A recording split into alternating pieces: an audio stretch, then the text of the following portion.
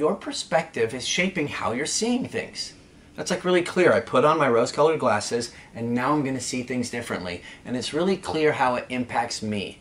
But the question is, or not the question, but actually the awareness also is that my glasses are affecting how people are behaving around me. So we mentioned that a little bit earlier when we told the story about our first year of marriage, where I had the perspective of I'm going to do something wrong and she's going to leave me. And so that impacted my behavior because I just was walking around on eggshells all the time and did not want to do the thing that was going to have her leave me. But if I'm walking around on eggshells all the time, then what is she going to do? She's going to be reacting to the way I'm being. And I did react to it because my feeling was, where's the real Jan? Who can I trust I'm getting?